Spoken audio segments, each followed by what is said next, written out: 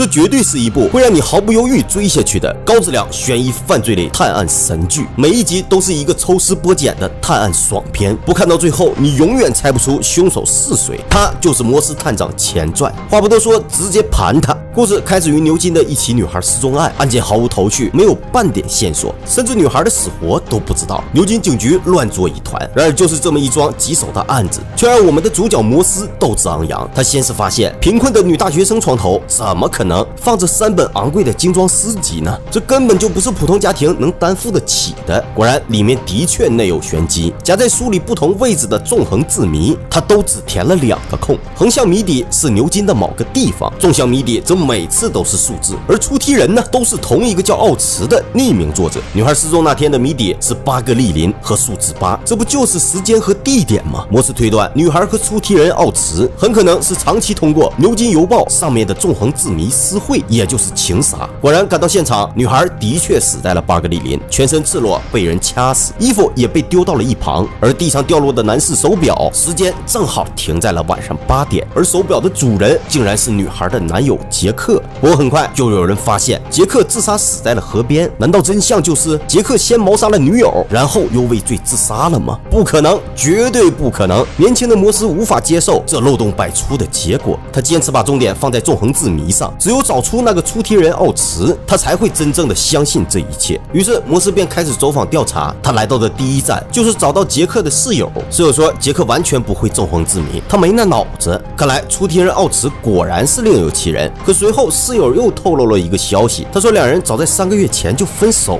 了，原因是女孩有了别人，而这个人呢，正是牛津大学的讲师。好家伙，大学讲师，那出个字谜不在话下呀。但讲师却一口否认了和女孩有任任何超出学术范围的交集。他说和女孩相识呢，也只是和另一位大学讲师打了个赌，看看谁能用学识吸引到这个女孩，并把她调教成上流社会人的模样。说着便以公务繁忙为由一走了之了。而那另一位讲师呢，恰好就是摩斯的老同学，他也承认了两人的确打了赌，但仅此而已。然而就在一无所获的摩斯刚回到家中，就在广播里听到了一条足以把那个出题人奥茨揪出来的重要线索，那就是奥茨曼迪亚斯的早期手稿将在牛津的伯德利图书馆展出，便又匆忙的找到了讲师。原来讲师身后摆放着的那两条巨大的断腿，就是出自于奥茨曼迪亚斯。而讲师把断腿放在身边的细节，无不显露出他对这本诗集的狂爱。于是摩斯大胆推断，出题人奥茨就是奥茨曼迪亚斯的缩写。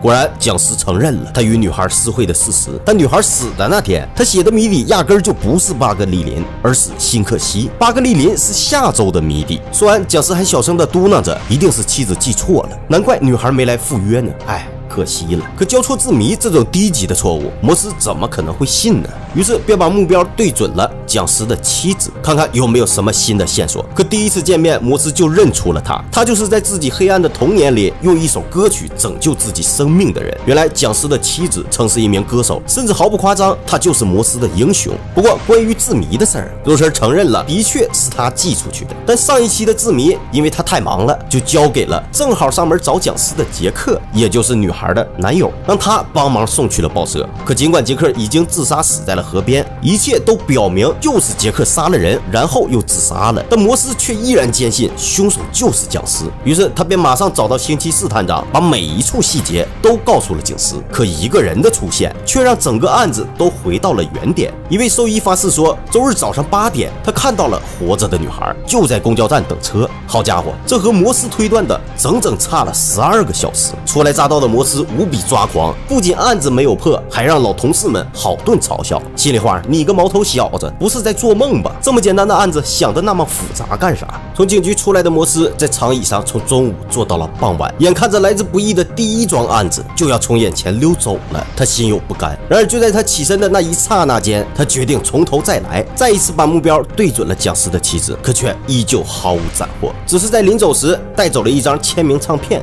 作为纪念。这一夜，摩斯睡得很香，甚至晚了一个钟头才赶到警局。然而，就在他来到警局的第一时间，他就拿起了女孩的裙子和贴身衣物对照尺码。他惊奇地发现，女孩尸体旁边的这条裙子压根儿就不是女孩的，因为小了不止一码。无论她怎么穿，都不可能挤进这条裙子。所以，兽医那天早上八点看到的女孩，很可能是别人假扮的。于是，摩斯找遍了整个牛津城。终于让他找到了买这条裙子的人。可回到警局的摩斯却没有一点胜利的喜悦，甚至表现得极其失落，因为真正的凶手不是蒋思，也不是前男友杰克，而是摩斯的偶像蒋思的妻子肉丝儿。原来一切都要从那个打赌开始。女孩对蒋思的青睐受宠若惊，甚至爱上了蒋思，义无反顾地跳进了那段私情当中。然而这一切都被她的男友看在眼里，便主动找到了蒋思的妻子肉丝儿，想让他阻止这一切。通过观察，肉丝也确定了确有此事，可。她害怕失去丈夫，便有了另一个想法，那就是让第三者从此消失。她先是把丈夫递来的字谜换成了另一个地点，让女孩错开和丈夫的见面时间，然后就是找个背锅侠，而这个背锅侠呢，就是她的前男友杰克。她用相同的方法得到信任后，再偷偷拿走他的手表，